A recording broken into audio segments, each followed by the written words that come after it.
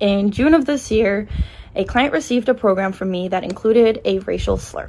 Some of the most bizarre behaviors ooze out of the fitness industry, and we've covered a lot of them on this channel, from scams to murder to some pretty crazy stuff like resisting arrest by the police, as well as men and women turning themselves into ogres. Today we're going to cover racial slurs being shouted out by a female activist in the fitness space. What do you mean by that?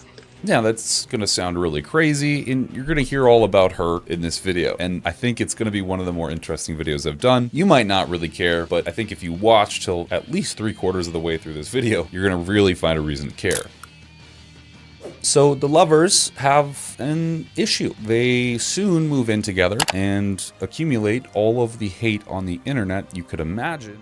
Ayn Walls is a power lifter, a biomechanics specialist, and a coach that helps shy girls get used to getting in the gym and stronger and presumably a better physique. I don't really know what it is at this point because her Instagram profile is a little bit precarious as to what she's really trying to accomplish, but she posts content in an idea, or at least, of getting people into a funnel, of which is her coaching funnel, likely to hire her as a coach to build strength and not be so shy anymore, or something like that, allegedly. Now, why might I call her a female activist within the fitness space? Well, in many posts, she talks about being very inclusive within the fitness community. As an influencer who gets to choose like what brand they work with, what message they want to help spread, what they want to put out there, I just decided that that's not something I want to be a part of. That is not the culture that I want to create for the gym, um, especially because I feel like the LGBTQ plus community, the plus size people, people of color are already like way underrepresented in the gym community. Getting more people to be in it of all sorts of shapes and sizes, specifically LBGQ, LBGQT, LGB, LGBT. Boy, editor, please put this here. Legitimately, I don't know what it is. Um, but not that I hate on them, I just don't know what it is. Anyways, she likes to get these people into the fitness community and hopefully creating a supportive system for them to feel inclusive, which I think is a good message. I think getting more people involved into fitness is a generally really good idea. But you can really tell her activism shine when she does things like drop her sponsor, Young LA, from the head designer at Young LA, Giovanni, because he said a obvious slur, which was a homophobic slur, the F word. And another thing, to your athletes that are posting oh. this, and I mean bundle of sticks, not gay, because I have a lot of gay friends. I mean as we here in uh, YouTube land like to say it. In this video, which I will show as I'm talking, she briefly discusses how she really wants this space to be more positive and an inclusive environment, and that she could never ignore the impact of actions and words such as these on the community at large, and therefore she has chosen not to be with Young LA anymore because it doesn't align with her moral code. This is beautiful. Great message. Awesome, I think. Very cool. Now, I also do believe in freedom speech, and I've certainly said a handful of probably not so agreeable things, and as I'm sure everyone has on the entire internet and world at large. But there's definitely ways that people do this kind of thing in very inconsiderate and destructive ways, right? Like, like calling people things in public and just shouting at their faces is one thing. Writing other things down and giving it to people uh, as a way of defining their name is also really bad, right? There's some really, really bad bad things you can say, and there's some really not bad things, but are kind of bad that you can say. They're all bad, but not all as bad. This is, I'm giving you like a fucking kindergarten level education on bad words at this point. Fuck. Fuck. Fuck.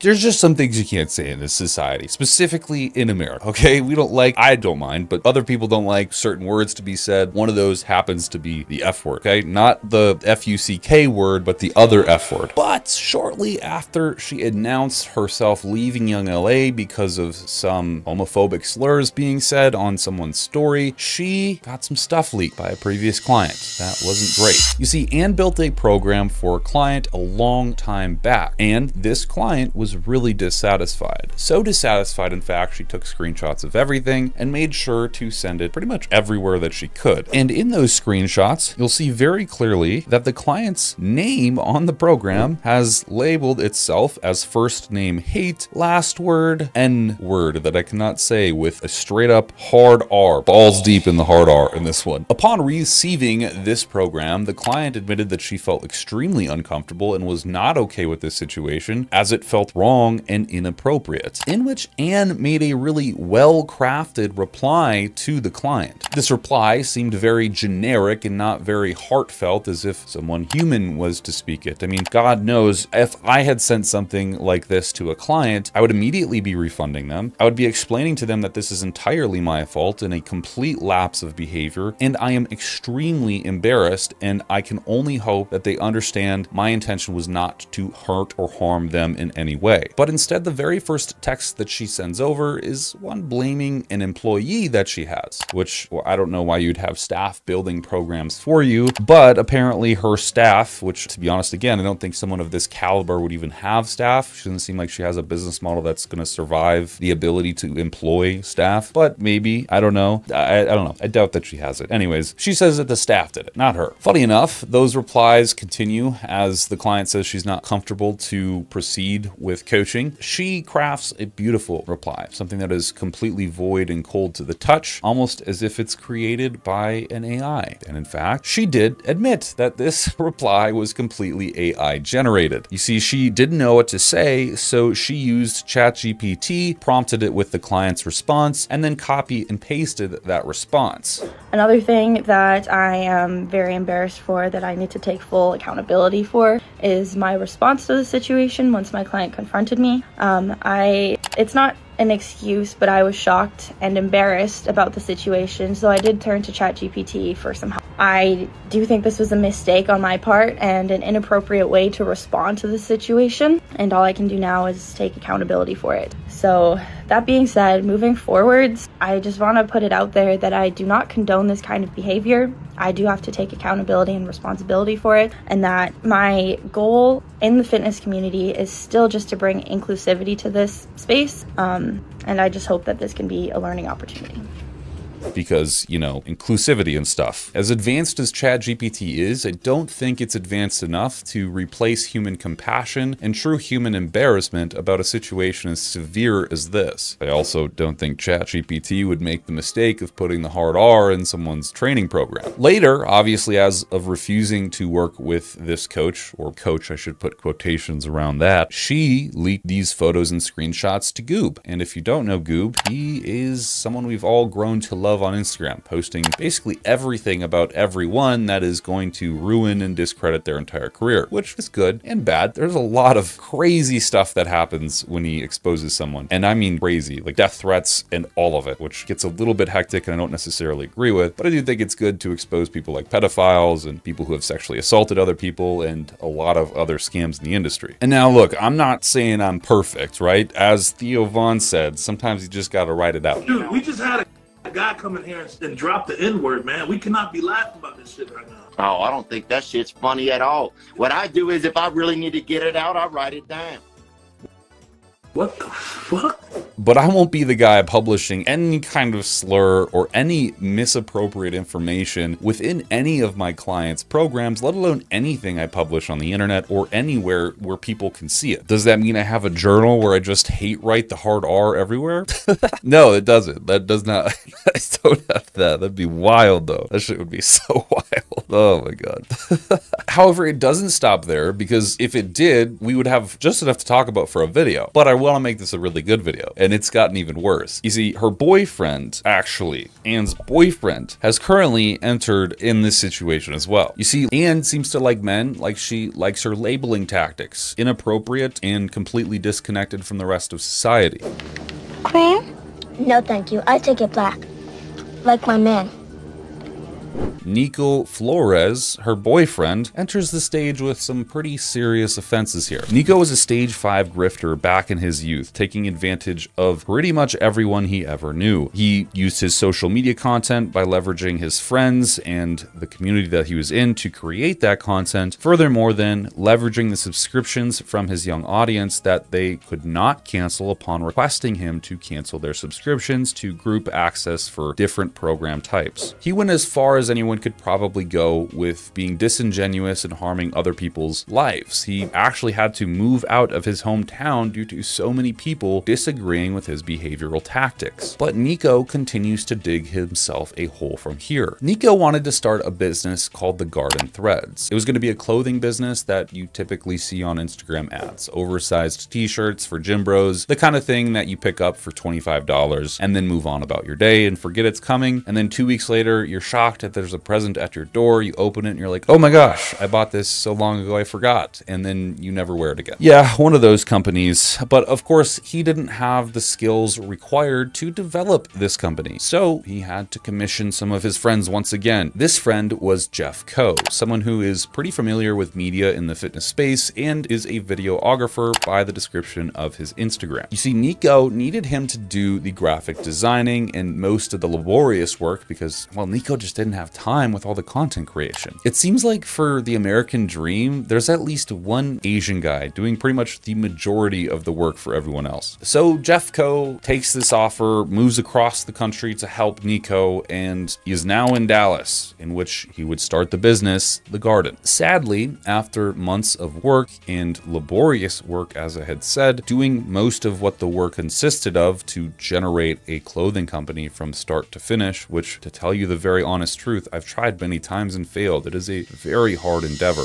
not easy to do. Nico failed to pay Jeff anything, not a single dime for all the work he did, even after he had moved out there to help him start this business. Something in which Nico promised would be a massive money scapegoat for them in the future. This resulted in Jeff having to move out and move back to his home state, where he proceeded to sue Nico for the money that he hadn't paid him. A lawsuit which is still undergoing right now and is showing signs that it's going to be very favorable towards Jeff's side, thankfully. And this is just the tip of the iceberg. And don't you worry, we're going to bring it all the way back around to Ayn here very soon. What started this entire blowout was that he double crossed an old friend named Kevin Papa. This is a reoccurring trait we're starting to see with Nico's behavior. Kevin Papa owned a supplement store labeled 110% supplements. Nico was working at 110 supplements as a content creator, and at the same time, he was also working for a content creator for a rival company in the area. Again, this is all whilst working